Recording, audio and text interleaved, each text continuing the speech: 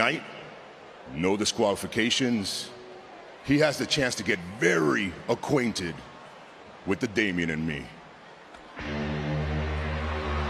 Not sure uh, T-Bar is ready to meet the Damian in me, as Damian Priest put it.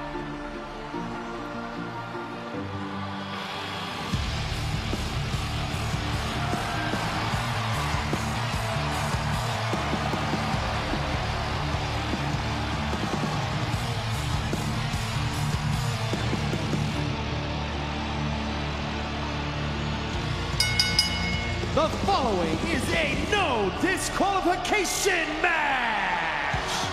Introducing first from New York City weighing in at 249 pounds, he is the United States Champion, Damian Priest. The walking embodiment of the internal struggle between good and evil, the United States champion, Damian Priest, prepares for a no disqualification match against the towering T-Bar live next on Raw.